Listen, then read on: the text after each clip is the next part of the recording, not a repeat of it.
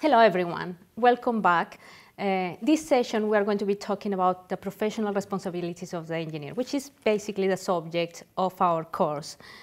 Now, one of the main differences between science and engineering is that science looks at, un at understanding the world. Engineering uses the, the sciences to make a difference and to apply it in a real context. Most engineers, we would all like to think that we can change the world and that we do it uh, as part of our jobs, which basically is a, a morally motivated discipline. Now, in the process of change, however, things can go wrong. Difficult decisions will have to be made. Sometimes we really have to, to think about who's going to be affected by what we do.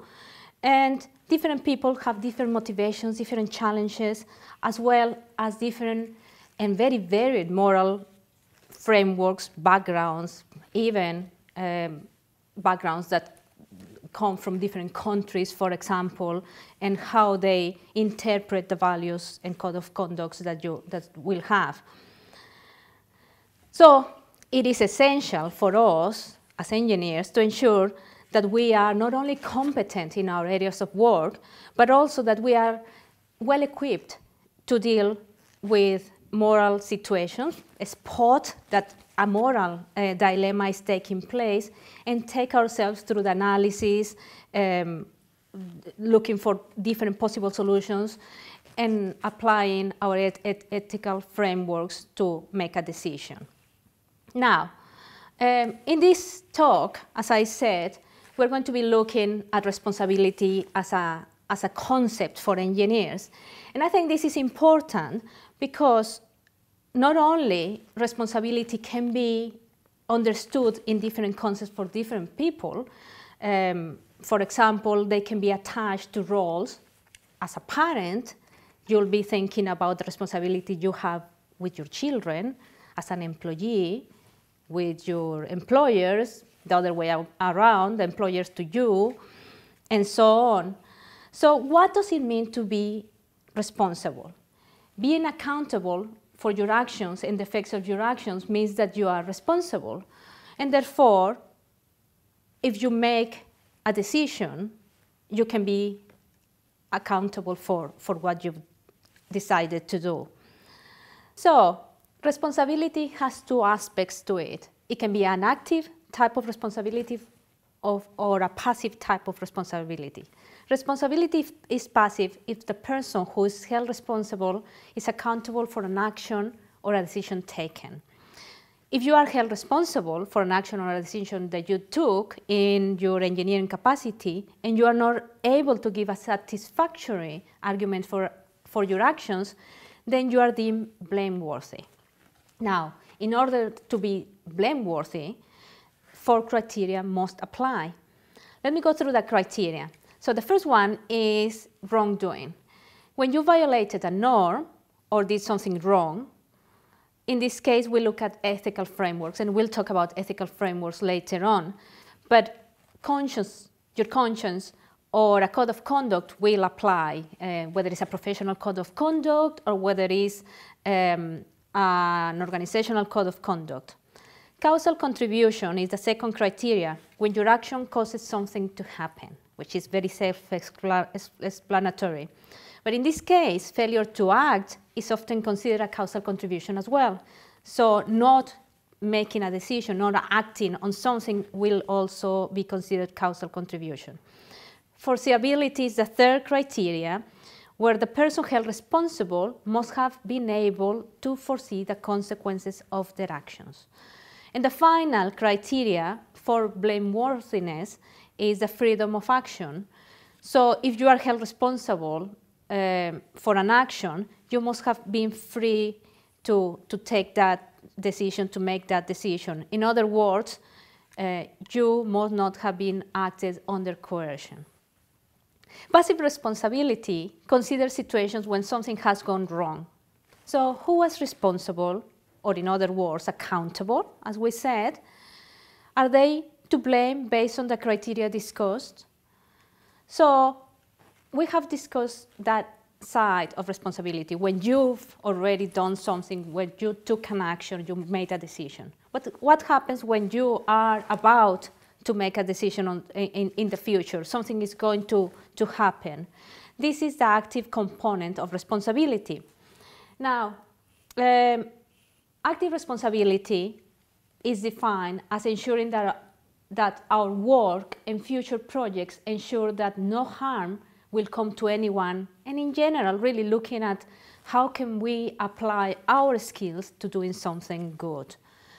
So active responsibility is not about blame in this case, but about preventing ne negative effects of our work whilst realizing the positive effects of it. Active responsibility can be un understood by looking at the ideals of engineers. What makes us tick, really? What motivates us? What inspires us? Some ideals are personal ideals, like, for example, wanting to earn a lot of money. Uh, some of us do that. Um, wanting to be famous, invent something new out of curiosity, but they also can be inspired on wanting to improve the world by designing, say, for example, technical innovations that uh, you think will be applied for a specific cause. This is when ideals become professional ideas and can only be achieved by carrying out a profession. We'll talk about professions later on. Now, let's discuss three different types of ideals of the professional engineer. Now, for us, it's really exciting to develop new innovations, and, and often we find ourselves wanting to, to come up with a new uh, piece of technology. The first one is technological enthusiasm. The idea of wanting to develop a new technology is, is really exciting. A nice example is Google Earth, which allows us to zoom in on, on the surface of the Earth it's a beautiful example of, of technological innovation, really. Um, when it came to, to happen, we were all very excited looking, zooming into my friend's house and my mom in Mexico. Now, the problem with that, uh, for uh, obvious reasons, is the moral implications of privacy or security even. Uh, there are considerations of what could happen if uh, this type of technology were used to say, for example, terrorism. As engineers, we also tend to strive to achieve an established goal. We re really are excited with trying to get to where we decided to go, uh, in other words, to be effective. But we also strive by efficiency, aiming to get to that point, the fastest, the quickest, the cheapest, is, is in our training. That's what we do. So these ideas at first sight can be hardly contestable. However, there are examples in history, say, for example, we, as, as engineers, we are familiar with time and motion studies, which show effectiveness and efficiency in practice. However, if you think about it, uh, although this has uh, a very has initially a very important uh, objective, which was to reduce the time and make uh, production lines more efficient, what it ended up happening was that people became nearly slaves of their companies. They, they, the, their human rights were compromised. So a third ideal of engineers is that of contributing or enhancing human welfare, which is something that we talked about. So for example, the Institute of Mechanical Engineers state that all members shall conduct their professional work and relationships with integrity and objectivity and with due regard for the welfare of the people, the organizations, and the environment which they interact with. Now, from a moral point of view, uh, human welfare is, is hardly a, a, a difficult sell, is it? Uh, however, uh, in the case of technological enthusiasm and effectiveness and efficiency, the ideals cannot necessarily be moral. Uh, sometimes they, they are desirable and useful, uh, but very much depends on the use of, of the technology and its consequences. Now, on the other hand, human welfare does remind us that engineering is not a profession that is morally uh, neutral. We, we have to consider our, the consequences of our actions.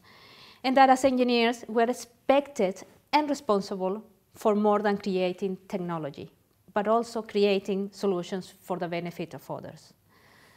So uh, can I ask you please, look at this chapter in your book, in the textbook, um, and, and refer to professional responsibilities of the engineer for, for more information.